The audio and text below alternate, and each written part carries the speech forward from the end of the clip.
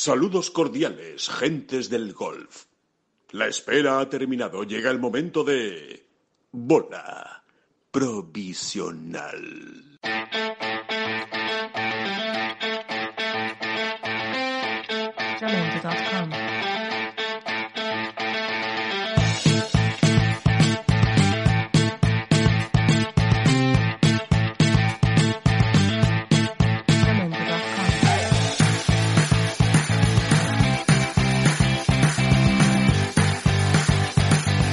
Hola, ¿qué tal? Muy buenas, bienvenidos a una nueva bola provisional. Arranca eh, una nueva edición de este podcast de Ten Golf. Hoy un poquito más triste, ¿no? O bastante más triste, ¿no? Porque tenemos que dar cuenta eh, este este miércoles de una de una noticia pues una noticia penosa, ¿no? Pero que al final eh, nos hemos desayunado con la muerte, con el fallecimiento de Sergio Gómez, una, una figura eh, esencial eh, en el golf español en, los últimos eh, 35 a- eh, años, eh, mano derecha, izquierda, manager, mm, segundo padre de José María Olazábal, ha estado metido en mil cosas en el golf español y yo creo que hoy es un- una buena oportunidad, ¿no? Este, esta bola provisional para dedicarla a su memoria, para hablar de él, para conocer más cosas de él, para que los que no lo hayan podido tratar sepan exactamente hasta dónde llega eh, su figura y su influencia dentro del, del español y para ello vamos a hablar con personas que lo han tratado y que lo conocen eh, muy bien. Primero y antes de nada, eh, presento como no a David Durán, que también está aquí, que también lo ha tratado mucho y que hecho muy buenas charlas con Sergio Gómez en los últimos años. David, ¿qué tal? ¿Cómo estás? Pues muy bien, y efectivamente es quizá, aunque parezca algo prosaico, lo primero que se le viene a uno a la cabeza, ¿no? Que la cantidad de charlas que, que se han quedado por tener con Sergio Gómez, ¿no? Porque Hmm. era como un pozo inagotable, además era muy interesante, muy divertido y, y muy pedagógico, ¿no? Diría yo incluso, ¿no? Que te enseñaba bastante, muchas cosas, ¿no? Eh, y nada, por, porque, por irle dando paso a, a los, a nuestros Sí. invitados, pues eh, simplemente decir que creo que el, el- el- el- el título que le hemos puesto en Tengolf quizá parezca un poco rimbombante, la del de el Leonardo da Vinci del golf español, Sí, pero que bueno, que tiene ese sentido, ¿no? El de hombre rena- renacentista, ¿no? De, porque es que eh, vio el golf y, y lo vivió desde muchísimos puntos de vista, ¿no? Eh. Hasta de Cádiz, ¿no? Le, hizo- le hizo a, a José María Olazábal. eh, y, y, bueno, muchísimas otras cosas más, promotor, eh, por supuesto, representante, agente, apoderado, porque creo que la figura de Sergio era casi como, Sí. nos recordaba un poco a la de los apoderados, Del- aquellos de los toreros Sí. 60 y los 50, ¿no? sí. eh, en el sentido de la cercanía y de, y de estar encima y de ayudarle en la vida, no solo en la profesión. Y, y, en fin, bueno, pues, pues eso, el Leonardo da Vinci, ¿no? Del, sí, sí. Hay que decir que, que ha fallecido la pasada madrugada, eh, víctima de una larga enfermedad, vamos, de un cáncer que, que está tan a la orden del día, por desgracia, y que, y que a veces pues no, nos paga con estas cosas, ¿no? Así que, eh, como decíamos, eh, vamos a hablar con dos personas que lo conocen, eh, que lo han conocido muy bien, realmente bien. Una de ellas es María Cacia López Bachiller, santo y seña del golf español y jefa de prensa durante muchísimos años del circuito europeo en España. María Cacia, ¿qué tal? ¿Cómo estás? Pues un poco triste, porque Claro. como estáis contando, la figura de Sergio, estabais explicándolo muy bien. Es que Sergio ha hecho todo lo imaginable en el golf español. Manager, comentarista de televisión, eh, periodista, eh, ha organizado torneos, ha hecho Cádiz eventual. Me acuerdo una vez estábamos en un torneo, el Cádiz de Chema con un poquito de resaca, no se, no se presentó en el TI del 1 y Sergio tuvo que agarrar la bolsa y salir al campo. Pero sobre todo, y por encima de todo, ha sido mm, el segundo padre de Olazábal. Él y su, y su exmujer Maite Menta viajaron con él años y años y años y han sido sus segundos padres. Solían alquilar casas. Maite eh, se ocupaba de la cocina. Sergio se iba al campo. eh, a veces seguía a, a Chema, otras veces se sentaba en la casa club y todos pasábamos por la mesa por donde estaba sentado Sergio porque siempre tenía A, algo a- a interesante. recibir, a recibir su bendición, entre otras cosas también, ¿verdad? Era como... exacto, exacto, exacto. Sí, era, era un poco así, era un poco así. Sí, sí, Era sí, el gurú del campo. Allá en el campo donde estudiese era un poco como el, el gurú. Sí. ¿no? El- el señor es del cierto, campo. ¿no? Es, una manera de hablar, pero yo creo que nos entendemos, ¿no? Sí, sí, sí, sí, Sí. es cierto. Em, vamos a hablar también en esta, en esta charla, en esta conversación, que, que va a ser una charla en, en recuerdo a Sergio Gómez, pues con otra persona que lo conoció realmente bien y que, bueno, yo creo que hasta dio sus primeros pasos en el golf de la mano de, de Sergio Gómez y que, por cierto, les recomiendo la columna magnífica que ha escrito en Marca, Buen Viaje, Gordo, no se la pierdan, échale un vistazo hablando de Sergio Gómez, que no es otro que Gerardo Riquelme. Gerardo, ¿qué tal? ¿Cómo estás?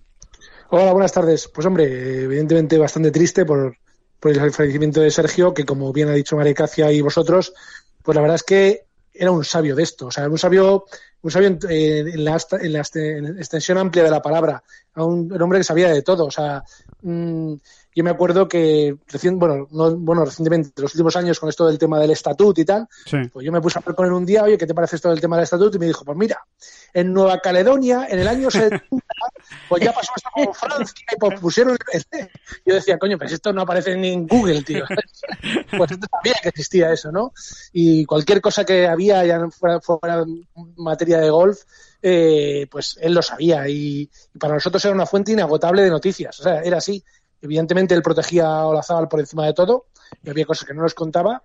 Eh, de hecho, yo me acuerdo cuando Olazábal eh, estuvo muy lesionado en el año 96, que bueno, nuestro cordón umbilical con Olazábal era Sergio, pues Sergio te contaba lo que quería, ¿eh? te contaba y decía, no, que la semana que viene a lo mejor vuelve y tal. Entonces Olazábal iba al rehabilitador, que sabéis que no casi no se podía, no podía andar, cogía el marca, leía que casi volvía y tiraba el marca contra el suelo. diciendo, Pero era Sergio, que decía, oye, mira, yo, es que me- yo tengo que proteger aquí a, a Olazábal como fuera, ¿no? Y no voy a decir que está fatal y que no puede andar y esas cosas, ¿no? Entonces, bueno, pues yo creo que, que es que, o sea, Sergio es un, un, un sinfín de, de anécdotas con él. O sea, Sí. o sea, yo me acuerdo, por ejemplo, eh, me contaba, en, ya que habéis hablado del tema del Cádiz, en Augusta, que debió ser en el año 89 o 90, no sé, una, una edición que hizo de Cádiz, pues en el hoyo 10, este que, que baja hacia, hacia la main corner, pues eh, Razabal tenía la bola en calle y le pidió eh, un palo a, a Sergio. Entonces Sergio, Razabal le dijo, "Dame- el hierro 7. Dice Sergio, no, no, tienes que jugar aquí el hierro 8. No, no, dame el hierro 7. No, no, el hierro 8. Entonces al final lo convenció y antes de dar el golpe lo mira y le dice, por tu futuro, espero que hayas acertado con el palo. Pum, te golpeó y la dejó a un metro. Y dice yo y respiré. Sí, sí, la verdad es que, es que eran muchas, muchas historias, ¿eh? son las que tienen eh, con Sergio Gómez. ¿Qué, qué el- ¿Recordáis la primera vez que lo, que lo visteis? eh, o, o la primera impresión que os causó cuando, cuando lo visteis por primera vez? Pues mira, yo de las, de las primeras imágenes que tengo de Sergio fue en 1986, Diario 16, en unos premios que, que otorgaban a- en, a en distintos ámbitos, le otorgaron un premio a Chema, ya había ganado torneos en el circuito europeo, había sido el- uno de los mejores amateurs de Europa y Chema estaba compitiendo esa semana y no pudo venir a recogerlo. Y me acuerdo que fuimos eh, mi marido, Mariano y yo al Florida Park antiguo del Retiro en Madrid, era una cena por todo lo alto, muy de, muy de gala, a recoger el premio con Sergio. Y en aquella cena yo empecé a preguntarle a Sergio, que no le conocía mucho, que me contase su vida. Mira, era una vida tan interesante, tan interesante, como bien ha recordado Gerardo en su columna, que es alucinante. Había estado en mayo del 68 en París, había sido comercial y había viaja- viajado por todo, por el mundo entero. Eh, luego de repente descubrió el golf y empezó a jugar al golf. Fue gerente del, campo, eh, que ahí fue cuando empezó a ayudarle de manera desinteresada a Olazábal hacerle las inscripciones en los torneos, a organizarle eh, las reservas de hotel, a comprarle sus vuelos. Empezó desinteresadamente hasta que, claro, llegó un momento en que aquello empezó a crecer, a crecer, a crecer y Olazábal le pidió que se fuese a trabajar con él permanentemente. Pero yo recuerdo aquella cena en Florida Park. Mariano y yo salimos diciendo, pero qué tío tan interesante, qué maravilla de vida que la ha exprimido hasta el último segundo. Sí, sí, porque es, es- es- era un poco eso, ya lo ha, lo ha apuntado Gerardo, ¿no? Que ya no era hablar de golf, que se hablaba muchísimo, ¿no? Y desde todos los puntos de vista, sino que es que se hablaba de todo con, con, con Sergio, ¿no? Porque era un tío muy culto, muy viajado, eh, eh, y además con, con esa capacidad para transmitir, o sea, que no, luego no todo el mundo Claro. la tiene, ¿no? O sea, para contarte las cosas, para explicártelas bien, ¿eh? Con ese deje así, hablando tan lento como él hablaba. Eh, Gerardo, ven para acá que te voy a contar. Ya, que, era, que era una maravilla, ¿no? Porque este ya te hipnotizaba, ya, te, ya te quedabas mirando a ver este hombre que me va a contar ahora, ¿no? Y luego yo quería destacar otra cosa, ¿no? Que, que siempre la hemos comentado, ¿no? Y es, eh, eh, bueno, que tenía algo de, de, de Sioux o de Cheyenne o de, de- de rastreador de tribu india, Cherokee, de Cherokee. había que seguirle a él, ¿no? Cuando uno iba andando el campo, ¿no? Sobre todo en, en jornadas con, en, en campos con mucha gente, ¿no? Con mucho público, tú tenías que seguir a Sergio Gómez porque él te iba a vente para acá, David, que te aquí. Y efectivamente te subía a una colinita que solo él entendía que estaba por allí. Conocía, sí, sí. Y, y desde esa colinita, pues uno veía eh, el disparo en el hoyo 6, eh, luego veías el green, luego desde ya la salida del 5 y, y aquella colinita pues ya la hacías tuya para, Ujú. para, para siempre, ¿no? Yo recuerdo una vez que estuve, que, que anduve muchísimo el campo de Qatar, por ejemplo, con él, un, un año que él fue a Qatar, y, y luego todos los años siguientes yo he ido pues colonizando eh, lo- las zonas que, que- La ruta, que- la que- ruta que- Gómez, ¿no? La ruta Gómez. la ruta Gómez, exactamente, la ruta Gómez que era, que era, que era, la, que era la que había que hacer, ¿no? Y eso que en Qatar la verdad es que no había público casi nunca, por desgracia, Pero, ¿no? Pero no solo público, es que además había hacer los menos metros posibles. O sea, Claro. Eso, veía, eso, los, veía los, los sesenta y tantos golpes de la Zabal, los veía, pero sin moverse. O sea, era, oye, mira, vamos aquí, hasta aquí, o sea, la, la salida de. Una cosa increíble en eso. Exacto, era tú, tú si sales un día al campo y vas cansado, ¿no? Como que has dormido mal o que estás agotado por lo que se dice, hoy Ruta Gómez, hoy hay que hacer Ruta Gómez, porque es, es la que más calorías ahorra, ¿no? Y, y, y desde donde mejor se ve el golf al final, que es lo importante, ¿no? Eh, es muy curioso. ¿sí? Eh, tenía, Sí, sí, tenía una sabiduría muy de muy- una sabiduría muy popular en el sentido de, de- del, del contacto con la gente, ¿no? Yo creo que hablaba tanto y era tan buen relaciones públicas con todo el mundo, se interesaba de la gente que yo creo que de ahí es donde sacaba gran parte de toda la de todo lo que sabía, Sí, ¿no? Es verdad, o sea, porque es verdad que también leía mucho, o sea, yo me acuerdo que llegábamos, sobre todo en el Masters, que me acuerdo que era la primera hora de la mañana que le veíamos y tal, y el tío ya se había leído todo el el Augusta Chronicle, se lo había leído, pero los, los cinco, las cinco secciones que había, esas, ya se las había leído todas. Pero es verdad que de hablar con tanta gente, eh, supo, eh, sabía muchas cosas. Yo me acuerdo, creo que fue en el año, el año que el British que gana este Justin Leonard, que estuvo a punto de ganarlo Parnevik, pues fue Sergio el que nos contó que Parnevik eh, se alimentaba de vez en cuando de arena volcánica. Eh, que es una cosa que evidentemente se le había contado Parnevik, claro, no se había contado a otros. De arena volcánica, impresionante, vaya Sí, sí, noticia. eh, hacía, hacía un mejunje ahí y tal, eh, hombre, pues que ella le quieren poner una cosa, una cosa bastante impresionante, ¿no? Sí. Y luego otra cosa que, que habla muy bien de, de la relación que tenían Sergio y Ozábal es que jamás hubo un contrato por medio, o sea, nunca firmaron un contrato. Nunca, nunca. O sea, eh, pactaron una, una serie de condiciones y ya está. Y cuando fueron las cosas mal, pues evidentemente pactaron otras. Uf. Pero, pero ya te digo que, nun- que nunca han firmado un contrato. Y eso, me, eso me- en, el, en el mundo del deporte y sobre todo en el mundo del golf y el, y el nivel de, de jugador que estamos hablando, Claro. me parece algo, y vamos, iné- inédito en la historia. Bueno, en casi 40 años, ¿eh? tenemos que hablar, ¿eh? que Sí, son sí. casi 40 años de, de relación sin firmar un solo contrato con uno de los mejores del mundo, eh, que, no, Ujú. que no es cualquier cosa, ¿no? O- ojo que, como muy bien ha contado Gerardo, intentaron, empezando por IMG y por todas las demás empresas de patrocinio, intentaron captar a Olazábal a través de Sergio. Claro. Y Sergio se mantuvo firme, firme, firme, que de ninguna manera.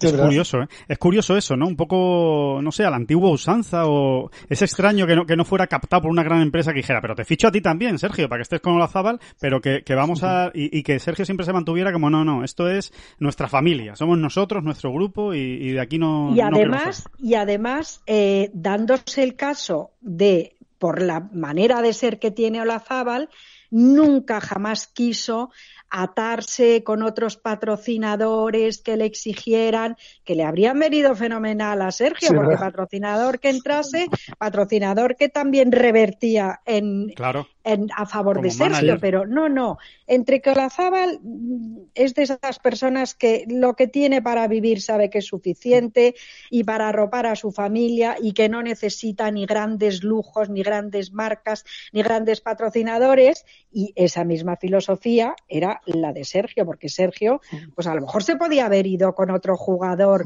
Sí. que al revés, que, que sí que desease todos esos patrocinadores, pero no, no, se mantuvieron los dos firmes, como bien ha dicho Gerardo, sin un contrato por medio, con una relación mucho más allá de la puramente comercial y así hasta el día de ayer.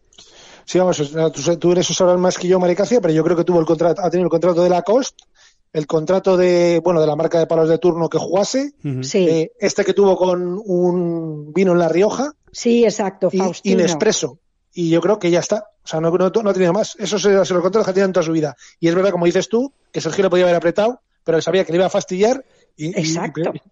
y, prefirió no hacerlo. Sí, sí, sí. Sí, No, y- sí, porque esa, es la imagen que, que yo evocaba del, del apoderado aquel antiguo, ¿no? Que miraba, que iba un poco más allá, ¿no? De, de- de los contratos multimillonarios y demás, ¿no? Y en ese sentido yo creo que ellos siempre han tenido... Bueno, es que Olazábal es... Si algo es Olazábal funda- fundamentalmente es, aparte de un gran jugador de golf, es una persona muy independiente, ¿no? O sea, ne- necesita... eh, necesita de su libertad, pues por ejemplo, para entrenar, no sé, 17 horas al día, ¿no? Entonces, si, si, si luego tiene unos compromisos, si luego tiene unos compromisos publicitarios que atender, pues no, no, no, no, no iban por ahí. Los- la carrera de Olazábal siempre ha estado orientada a, a lo deportivo, ¿no? Y luego no sé si, si os ha pasado a vosotros lo mismo. Tengo la sensación de que cada vez que ibas a hablar con Sergio, tenías que hacer cola. O sea, siempre había alguien hablando con él. Sí, sí, sí, sí, Siempre, es verdad. siempre, Es verdad. siempre, Sí, siempre. Efectivamente. Sí, sí, sí, sí, sí. Y no, y no era un, y no era muy amigo de las, de las charlas muy grandes, ¿eh? Era más del uno contra uno, ¿verdad? Del uno a uno. Exactamente, sí, sí. Estoy de acuerdo contigo, Alejandro. Sí, sí. Es verdad, no, no le veías muchas veces a Sergio Gómez en grupos, ni era el, el clásico, entre comillas, animador de grupos, ¿sabes? Que hay seis o siete y solo está hablando él y todos le están mirando, ¿no? Él era más de irse con uno a una esquina, a un rincón, muy de, de sitios así más, más, más aislados o más independientes, y ahí echar las horas que hiciera falta hablando con uno y con, y con otro, ¿no? Eh, es, es realmente, realmente curioso. A mí me llama mucho la atención que alguien que ha sido tan, eh, tan influyente ¿eh? en, el, en el mundo del golf y que haya tenido tanta presencia y tanta fuerza y tanta amistad con, con gente muy importante del mundo del golf, nunca haya estado con ningún otro jugador. O sea, que no haya tenido ni siquiera esa... Bueno, esa- tuvo, tuvo a Canónica, le tuvo Ah, un tiempo. pues Sí, mira, eso no lo, no sabía yo, no lo sabía yo. Ajá. Sí. Pero bueno, porque Canónica era parte ya de la familia. Entonces, Claro. Sí, de, de hecho, Canónica le hizo de Cádiz a, a Olazábal en, en Augusta, como Sí. recordar. Entonces, bueno, era un poco ahí, ya te digo, lo, lo hacía más, más que nada por amistad, no por Sí. otra cosa. sí, sí, sí, sí, sí. Oye, y te, os contaré que las instituciones le temían, le temían el circuito europeo, el, Pero- el PGA Tour, la Federación Pero la, Española, fe- ¿por la- qué? la Federación Maricacia, ¿a quién tenía? ¿A, a él o a su seudónimo? Ah, también, también, también, porque decía todo lo que pensaba, porque no se callaba absolutamente nada. Nah, no se casaba con era- nadie. Se- No, se casaba con nadie. no, se casó no, con no, Olaza- se no, casó no. con Olazábal y ya está. Y Sí, sí. punto, y punto. Y de, y- y de hecho, contra el European Tour en un tiempo eh, fue uno de los impulsores, que luego al final no, no llegó a nada, Sí, del circuito mundial. Ajá. En la época de Greg Norman, ¿puede ser o qué? Sí, exactamente. Sí, sí. Ujú. Y intentó hacerlo, eh, llevarlo a cabo y luego no se consiguió nada, pero sí, sí, con Joy Colette y no sé quién más estaban por ahí y, y lo, y lo intentó. Sí, sí. Y luego también eh, hay, hay que destacar que luego fue un gran embajador cuando ya Olazábal, eh, digamos, ya no eh, jugaba y se dedicaba más a, o jugaba al circuito senior Sí. y se dedicaba a diseñar. Sergio ha estado en sitios in- insospechados. O sea, eh, Pakistán, había que ir, pues Sergio iba. Eh. Marruecos, vamos, es un- su segunda residencia. Sí. Y, tiene una gran rela- y tenía una gran relación con la familia real, incluso de, de Marruecos. Eh, Sí. O sea, era una cosa que decían, mira, allí donde no quiere ir nadie, tengo que ir yo. Era un, era un diplomático casi, sí, sí, sí, sí, sí. Tenía esa, Sí, sí, es ten- verdad. tenía esa manera de ver, de ver la vida, es, eh, es realmente Sí, y luego curioso. se, ca- se, se cabreaba, se cabreaba cuando estabas en un país y había alguien que, bueno, pues que rajaba de las, de alguna costumbre de aquel país, ¿no? Decía, Joder, si es que hay que acostu- a, a donde uno va, pues ahí tienes que adaptarte tú, no se va a adaptar el país a ti, ¿no? Es Sí, poco- decía, pues que no vaya, que no vaya. Exacto. Porque Sergio enfadado. Yo le he visto alguna vez, madre mía. sí, tú lo has padecido mía. más que... Tú lo has padecido. Yo le he padecido, yo le he padecido, porque claro, a veces yo a lo mejor le pedía, anda Chema, ven, reúnete con este periodista, siéntate, ven a esta rueda de prensa, y Sergio más de una vez me echó una mirada asesina, como diciendo que no has venido a consultármelo a mí, que no has venido a hablar conmigo has llevado Sí, sí. A José Mari. ¡Uh! Sí, sí, pero vamos. Era, y en eso- era Mira, desde, desde el punto de vista periodístico, y de esto Gerardo sabrá mucho más, eh, eh, mm, hay que decir también, y de verdad que esto no es un halago gratuito ahora que no está, ¿no? que nos acaba de dejar, eh, es que tenía una gran pluma, o sea, tenía muy, muy buena pluma escribía sí, sí. muy bien. Mira, escribía yo- muy bien, muy clarito, eh, y vuelvo a insistir lo mismo, muy pedagógico, Sí. te, te enseñaba. Y- pero que es que tenía Mira. buen estilo escribiendo, ¿eh? En eso hay un artículo en El País, en el año de- eh, en la Ryder Cup del 97, que se titula algo así como mm, Analistas y, y, expertos, analistas, donde habla, venía a decir que la gente en los la- las, las- las, eh, exámenes o, o los vaticinios a priori y las, y, la- y la- y las conclusiones o análisis posteriores, pues que los, los, los analistas discutían lo que habían esc- escrito previamente otros tíos, pero al final acaba diciendo que analistas y, y, y, y vaticinadores eran los mismos. La verdad es un artículo que está muy bien. O sea, ya te digo que pues, si lo buscáis en, en el, en el país, en el archivo del país está ahí. Y la verdad es que es un artículo maravilloso. Verdad Y luego, cuando, cuando comentaba en televisión, antes lo hablaba yo con Javier Pinedo, es de los mejores comentaristas que ha habido porque, claro, como vivía, comía, cenaba con los jugadores, lo que te contaba era lo que a todos nos apetece oír, que son anécdotas. Claro. Lo que tú contabas que os dijo de Parnevik, bueno, pues igual, se sabía la vida de este, se sabía la vida de otro, contaba todo tipo de anécdotas, que es lo que a la gente le divierte, conocer al jugador. Y luego, en eso, en eso es verdad, ahora me recuerda Maricacia, hay una anécdota muy grande, que es en el año 91, cuando va- Olazábal pierde el Masters con Busnam, Sí. eh, a Olga Biza le da por llorar. O sea, estaba comentando, comentando y se puso a llorar. Sí. Y, jodido, porque, al final el manager de Olazábal, tuvo que mantener el tipo en la, en la- en la retransmisión. Porque Olga lloraba. Claro, y e- él era el comentarista de Olga Biza, ¿no? Claro, fue, Ah. fue de, Sí, de- sí, sí. Sí, sí, sí. En, Pero- te- en televisión española, entiendo, ¿no? Ujú. No sé, si fue de Sergio Gil, eso no lo sé. Eh, pues ahí ya me pierdo. De- desde luego, con quien más comentó fue con, con- Es que yo juraría que fue Javier con Javier Pinedo en el año 90 o por ahí, que debió empezar con él y sí, con Sergio Gil me suena que hizo menos, con Olga sí, con Olga sí. Y, y- y desde luego era un comentarista, no bueno, buenísimo, exactamente igual que lo que contabas, que escribía, era comentarista, pero vamos. A mí me ha dicho, a mí me ha dicho. Javier Pinedo que empezaron en el 92 en Canal Plus. Que lo, Ah, que, Claro. lo, que, lo, 92. que lo ficha él para, para Canal Plus en el 92 y está en 92, 93 y 94, justo hasta, hasta el Masters, bueno, hasta que acaba el, el, el, el año 94, porque cuando gana Exacto. el Masters del 94, Olazábal, que Sergio Gómez está en la cabina retransmitiendo la, la, la última jornada con, con Javier Pinedo, es ahí cuando Olazábal le dice, hombre, yo creo que deberías dejar ya el, el micrófono y dedicarte Que el jefe solo- soy yo. Sí, exacto. Y entonces Sergio Gómez le dice, mira, me he comprometido hasta el, hasta el final de este año, acabo este año y ya, y ya lo dejo. O sea, que fueron tres años y me parece muy curiosa, ¿no? Esa escena de Sergio Gómez comentando mientras su jugador, eh, su amigo y su, y su todo eh, eh, estaba ganando el, el máster de Augusta. Y ahí aguantando Sí, sí. El, el tipo, la- eh, comentando. No debe ser fácil, ¿eh? Sí, sí, es verdad. Eso es- y luego también, por ejemplo, Sergio, ahora, a- a- vamos, a, a- mí, evidentemente a través, a, través de Javier Pinedo, que era el colaborador nuestro en aquel momento en Marca, nos hacía llegar fax desde Japón, por ejemplo, que en Japón, cuando jugaba el Dunlop Phoenix y esos torneos, la crónica la hacía Sergio. Qué bueno. Claro, claro, era, era el que lo había visto. O sea, por otro lado no había un mejor Claro. cronista, claro. Claro, pero es que no, es que en aquella época igual solo salía lo que era el, el marcador en, el teletipo, no salía otra cosa. Y, Claro, y Sergio te lo, te lo, te lo escribía. claro, sí, claro. sí. Te contaba con pelos y señales cómo había sido la vuelta. Sí, sí, sí, sí. Y, y luego ya te digo que tenía una columna en una revista con un seudónimo donde atizaba mucho a la federación. Sí. ¿Cuál era, cuál era ese seudónimo, Gerardo, que lo has dicho antes? No te acuerdas. Por si, había algún- menos, ¿no? por si había alguna duda.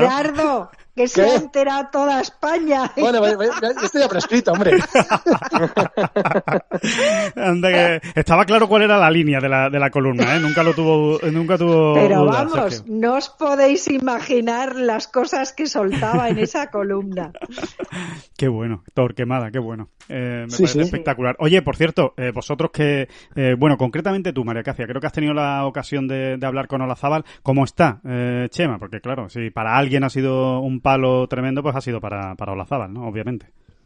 Pues hombre, mm, muy triste y muy tocado, pero por otra parte muy tranquilo porque estos últimos días eh, ha estado con él y, y se han podido despedir. Se han podido despedir, sí. Al principio del confinamiento lo pasó muy mal porque no podía ir a verle Claro. y, le hubiera encantado recogerle, llevarle a comer, a cenar, mm, sacarle, hacer algún plan con él. Y sin embargo, en estos últimos días, cuando ya, cuando ya ha habido un poco más de libertad, pues ha podido despedirse. Pero, pero, hombre, también han sido mm, tres años, tres años Sí. sufriendo la enfermedad. Mira, por cierto, hace, hace un rato, antes de hablar con vosotros, he estado revisando los últimos WhatsApps que, que yo me crucé con Sergio. Para que veáis, o sea, es que hablaba de todo. Uno de ellos era sobre la reina Leticia. Bueno. Evidentemente no puedo contar de qué hablamos, pero era eh, eh, uno de los últimos y el último último, fíjate qué curioso, sobre Sebe y la familia de Sebe. Anda.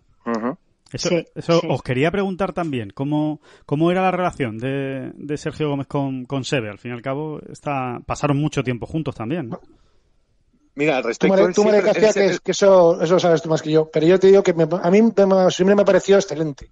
Ajá. Sí, sí, sí. Bueno, y, y- y Maite, la mujer de Sergio, yo la recuerdo, vamos, con los niños de Sebe cuando eran chiquitines, les compraba helados. Les compraba helados, que eso los niños de Sebe lo recordarán siempre. Claro, es que coincidían en todos los Claro. torneos. Y cuando no comían, cenaban, y cuando no cenaban, comían. Y tuvieron una relación muy estrecha. Hay, hay una anécdota que contaba, que contaba mucho Sergio Gómez respecto a, a la figura de Severiano Ballesteros, y es que, bueno, eh, en un torneo, una semana cualquiera, imaginaros, que no, no me acuerdo bien, ¿eh? un torneo en Alemania que gana Olazábal, ¿no? Gana Olazábal y se acaba segundo o tercero. Y a la semana siguiente, pues nada, viaja todo el circo del European Tour, creo que era a, no, creo, creo que era, no, seguro, era un torneo en Reino Unido. La semana siguiente, y él cuando, cuando llegan a, a, pues, al nuevo destino, cuando llegan allí al Reino Unido, coge todos los periódicos, la prensa británica, para ver qué se contaba de la gran victoria de Olazábal la semana, justo ese domingo, ¿no? Que había ganado pues, en Alemania, me parece que era.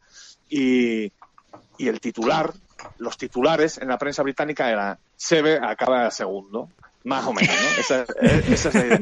Entonces, entonces Sergio, Sergio, eh, eh, Sergio siempre decía, ahí, justo en aquel momento es cuando me di cuenta de que, de quién, o sea, de qué, qué era Sebe, quién era Sebe, especialmente en el Reino Unido, y, y punto. Y había que, y, esto era así. Yo me, él se agarró el, el, el- el consiguiente berrinche, lógico, porque claro, eh, su jugador acaba de ganar, entre otros a Sebe, ¿no? Y, y, y no, y no, lo que se destacaba era que se le había quedado segundo.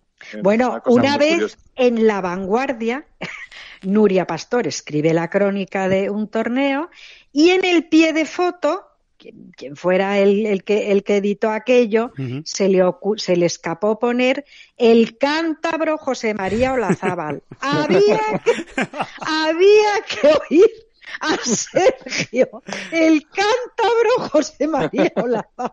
Qué bueno.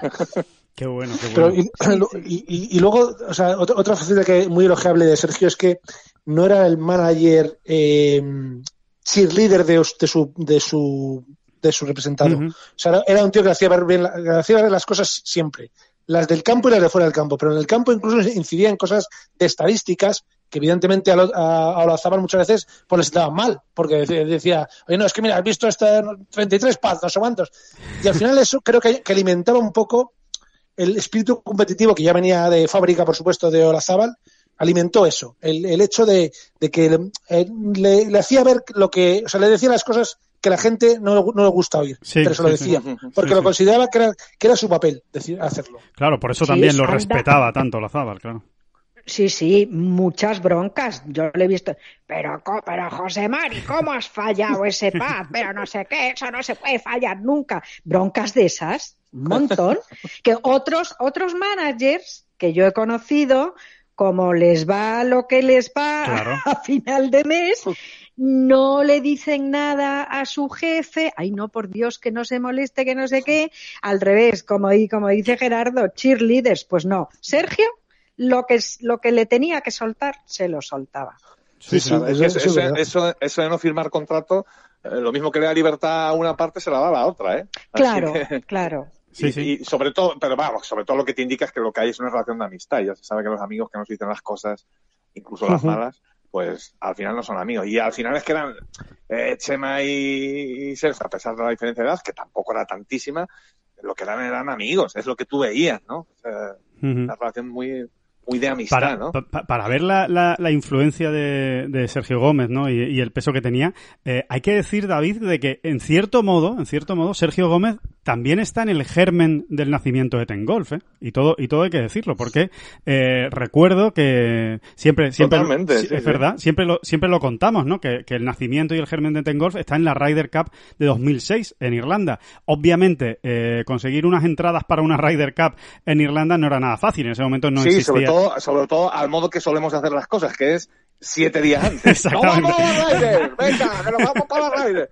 No, siete días antes no fue, fue bastante Sí, antes. fueron Y 13 o además- 14, sí. Y además, es que es muy curioso porque ejerció como intermediario Gerardo. Gerardo, Riquelme. Claro, claro. Sí, sí. Eh, y, y a través de Gerardo, eh, eh, nosotros estuvimos en esa, en esa Ryder porque, porque Sergio nos consiguió las, las acreditaciones a través de Gerardo, también Sí, hay que sí, sí. decirlo. ¿eh? Sí, unas, unas entradas Yo a en través eso, de en- en eso sí que es verdad que, que yo, la figura de Sergio siempre la he respetado, excepto creo que el último año que ya estaba malo de verdad y que, bueno, con Olazábal de vez en cuando hablaba directamente con él, Sí. yo siempre pasaba por Sergio, siempre.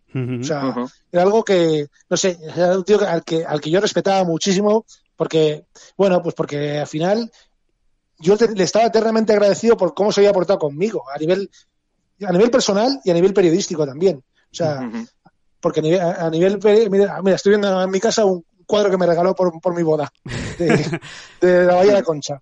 Eh, ya te digo que, Hay que- Ser- Sergio- Gerardo, Gerardo, hay que decir también, a ver, yo no, yo no conozco a Sergio como le conocéis vosotros dos, ¿no?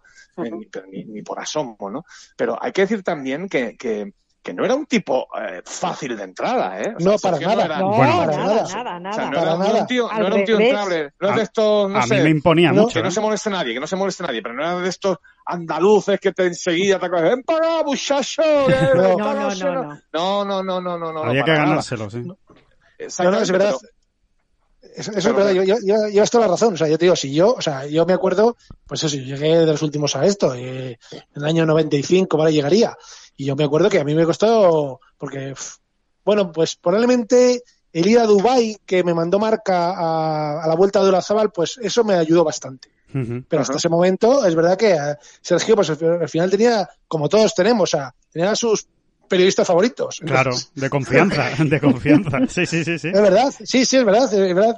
Y ya, ya cuando, te, cuando, cuando te ganabas su confianza, ya era, vamos, o sea, ya era una cascada de noticias que evidentemente muchas no publicabas y otras sí, y otras sí claro, pero, pero sí, sí, pero sí. no las publicas en ese momento, pero te daban te daban una pista magnífica para que a lo mejor te salía ocho meses después, ¿no? Para Eh, saber al- por qué había ocurrido algo al final, ¿no? O sea, sí, sí, es- exactamente. es, es de ese tipo de gente, porque como además era un, un visionario en ese sentido, o sea, diciendo, o sea, atento que esto va a ir por aquí. Y efectivamente un año después iba por ahí, ¿no? Y, a ti te lo había contado hace un año y en ese momento pues te venía muy bien para contarlo, ¿no? Yo, yo quiero, o- o- os, eh, os voy a contar una, ah, es una chorrada, ¿no? Pero eh, realmente la última vez que vi a Sergio fue en el pasado Open de España, ¿no? En el Club Sí, del Campo. es la última vez que yo le vi.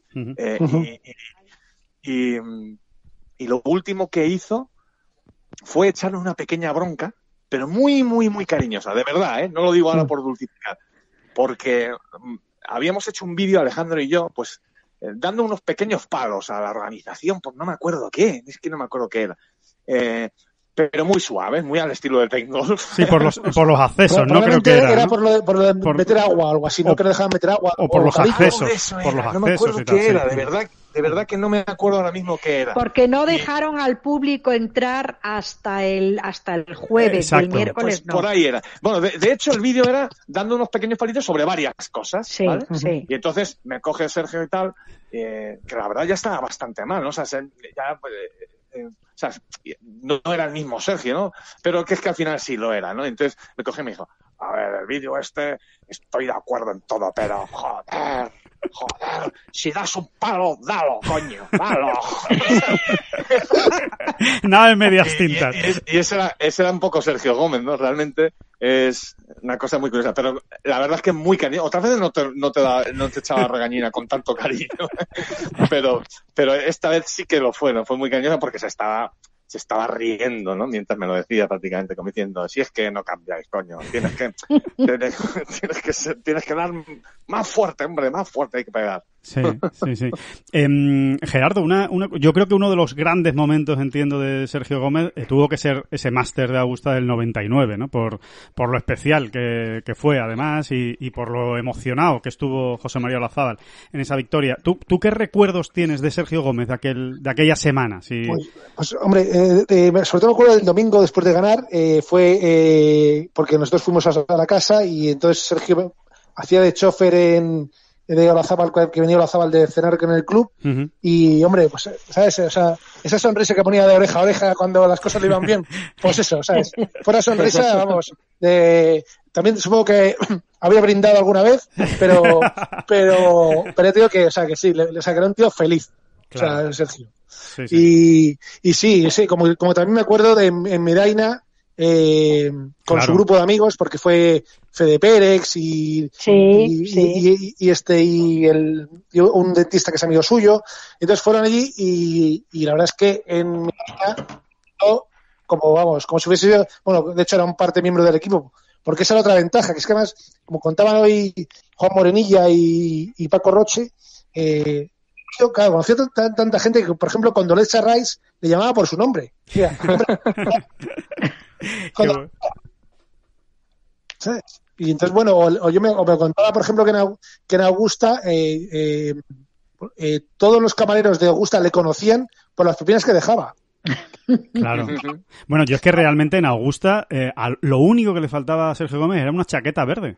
Era lo único que le faltaba porque, Sí, porque sí, sí, re- es verdad. realmente era- él era uno más en, en, en Augusta National, o sea, uno más de la organización y de, y de estar allí en el, en el cotarro, en el meollo. La gente se movía a su había un, alrededor. había, había un banquito donde se sentaba él muchas veces, Sí. muchas Sí. veces que, que, era- que lo elegía, que era el mismo, ¿no? Se ponía ahí a tomar el sol, que estaba cerca ahí de- del gran árbol este, que es un roble, ¿no? Me parece. Sí, Y, Sí. y, y se ponía allí, eh, solo le faltaba el nombre en el banquito, ¿verdad? que, que- que- que- la que chapa. le hubiese pegado todo, que le hubiese pegado todo. Tiger Woods, por ejemplo, yo, yo le he visto bromear con él o sea, muchas veces. El mismo Tiger. Woods. Es, es verdad que a través de las Harmon habían eh, entablado bastante relación y tal, pero ahora tuviese a Tiger Woods, pues eso, a vacilar a Sergio y yo decía, joder, pues este tío tiene que ser importante. Sí, sí, sí. Eh, eh, ¿no, tenéis, ¿No tenéis la sensación de que siendo, siendo alguien tan importante como es Sergio Gómez, públicamente no está tan valorado, no es tan conocido? Eh, no, no, ¿No os da esa sensación más allá del mundillo puro y duro del, del mundo del golf?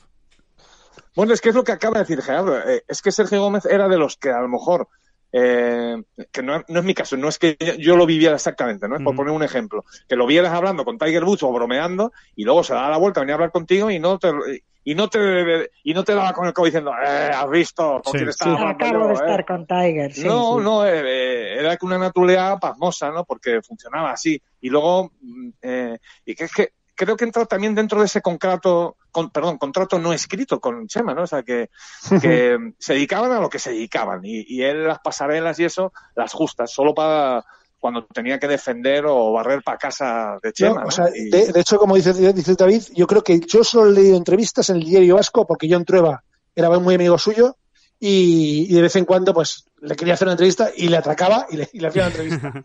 Sí, sí. Pero yo, No, no, no, Pero no- huía de ese protagonismo, ¿no?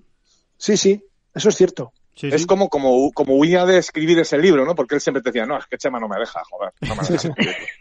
Y cuando, cuando, cuando, con, precisamente con esa, con ese estilo que él tiene, ¿no? Que no, que, insisto una vez más, que no es un, de verdad que no es un halago gratuito. Es que escribía muy bien Sergio Gómez. Y, y el libro que podían haber salido de esa cabecita, Joder. pues hubiese sido eh, espectacular, ¿no? Con todos los entresijos que él, que él te podía contar y cómo los contaba, ¿no? Y luego otra cosa que me gustaría resaltar de Sergio es eh, que, que- que- que no la hemos tocado aquí, pero que también él, él tuvo una participación muy activa y muy importante es en el, el tema del diseño de campos. Por supuesto que es Chema quien los diseña, pero, eh, pero que Sergio eh, era una voz a la que eh, José María Olazabal escuchaba Sí, sí. mucho es y bien, o sea, y era un estudioso de Sí, los campos, sí, sí, es verdad. eh, hay que decir que es que hemos hablado de él como Cádiz, como gerente, como representante, como todo, y además es que eh, tenía mucho ojo, ¿no? Para este tema y, y mucha y mucho conocimiento, quiero decir, ¿no?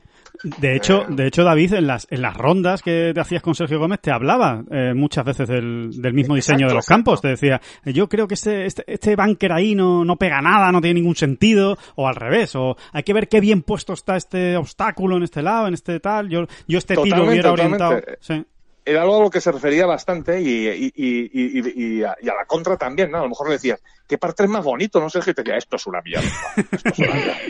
Y, te- y te- y- y lo- pero luego te explicaba por qué. Y dice, pero coño, Sergio, porque es una mierda, ese a mí me parece precioso. Sí. Y Pues mira, te voy a explicar, ven para acá. Mira, ves aquí el bunker y tal.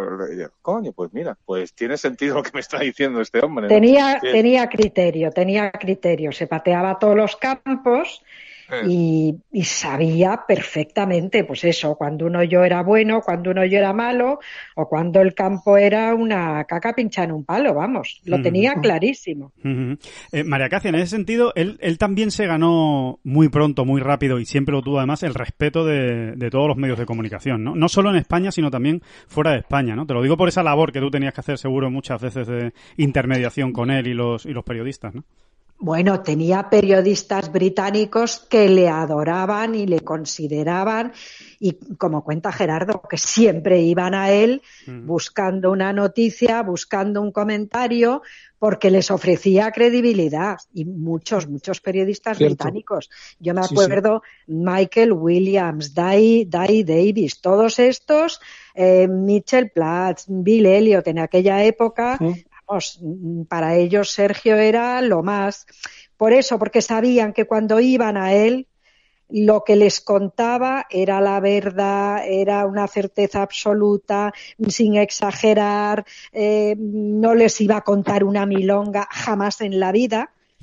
Y le consideraban muchísimo, muchísimo. Ujú. Qué, qué- qué difícil es ganarse ese respeto, ¿eh? Y- y- Eh, que- Muy difícil. in- Incluso alguno le pedía 30 horas de entrevista con Olazábal. 30 horas. Nada más, ¿no? Para, para, para que quedara claro, joder, qué, qué- qué No, no, mérito. eso, después, después del máster del 99, no me acuerdo que no sé si supongo que sería Expert Illustrated, pero no me acuerdo. Le pidió 30 horas. Que le dijo, pero tú, ¿qué 30 horas que le va a preguntar en 30 horas? qué bueno, qué bueno.